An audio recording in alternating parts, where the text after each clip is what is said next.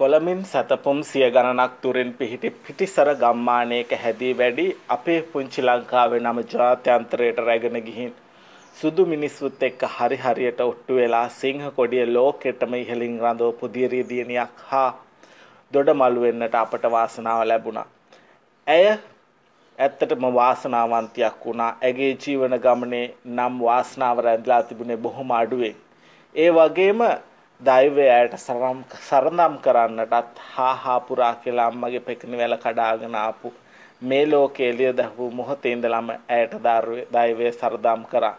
ඉතින් අපි අහමු ඇගේ මුවින්ම ගෙවුණු අතීතය පිළිබඳව. ඇයගේ නම තමයි අමරා ඉන්දුමති කරුණාතිලක. මහ ගෙවල් තිබුණේ මොනරාගල. මොනරාගල කීවට ටවුන් එකෙන් ඉඳලා කිලෝමීටර් 25ක් දුරින්. පොල්ගහගම තමයි ගෙදර තියෙන්නේ. ඇය මෙහෙම කතා කරගෙන යද්දි ඇයගේ හුස්ම මොහොතකට නතර වුණ තැනක් තිබ්බා. ඒ මගේ පවුලේ අම්මා ඉන්නවා. තාත්තා නැහැ. තාත්තා නැති වුණා.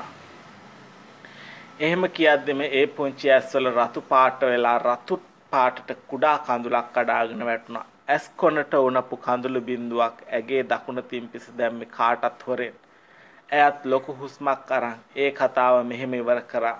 දැන් අවුරුදු 4ක් වෙනවා 2013 නැති වුණේ. එහෙම කියපු අය ආයෙත් මොහොතකට ගොළු වුණා. ඉන්දු ඉස්කෝලේ ගියේ මොණරාගල මාරිලාස් මහාවිද්‍යාලයට. අනෙක් හැමෝම වගේම පුංචි ඉන්දු දුවල පැනලා සෙල්ලම් කරන්න හරි ආසයි. ඒ වගේම ක්‍රීඩාවටත් හරි දක්ෂයි. ඉන්දු නිවාසාන්තර ක්‍රීඩා උළෙලවල් වල පළාත් ක්‍රීඩා උළෙලවල් වල ජයග්‍රහණ ලබාගෙන තිබුණා. මේ දක්ෂතාවයන් නිසාමයි නමුත් එදා ඉන්දු අතින් පැරදිලා තිබුණේ නම් අතපය හතරම හොඳට තිබුණු අයවීමත් විශේෂයි. කොහොමත් ඉන්දු හැමදෑම කල්පනා කරනවලු අක්කලට නංගිලට මල්ලට මේ හැමෝටම අත් හොඳට තියෙද්දි මට විතරක් මෙහෙම වුණේ ඇයි කියලා.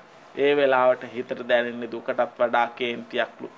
ඒ නිසා ඉන්දු ඒ කාලේ නංගිලා මල්ලාට ගහනවලු. පව් පොඩි එකී හිතේ තිබුණ හැමදේම පිට කරලා තියෙන ඒ විදිහට ඒ දැන් නම් ඉන්දු කියන්නේ ඒ හැමදේම තේරුම් ගත්ති හර්ම තැම්පත් දරුවෙක්.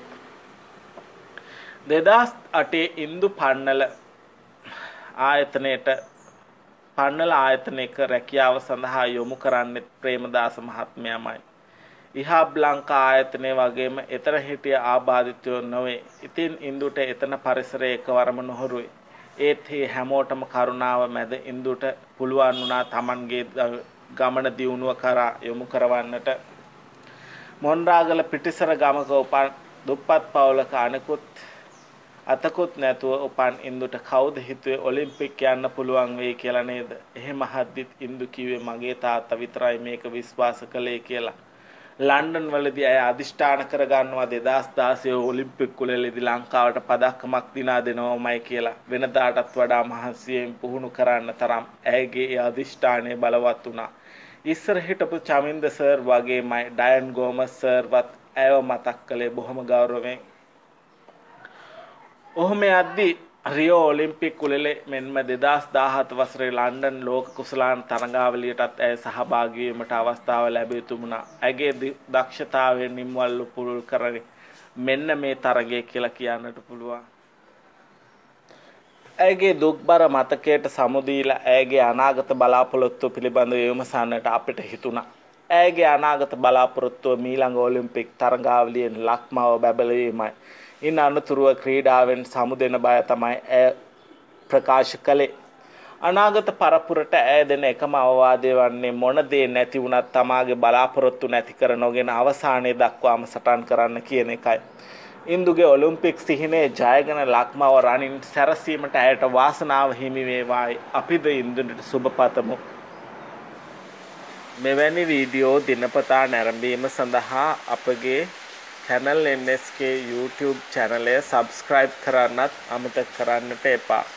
ඒ අසල ඇති සීනුව සලකුණ ක්ලික් කිරීම මගින් ඔබට දිනපතා අපගේ නව වීඩියෝ දැක ගැනීමේ අවස්ථාව තිබෙනවා.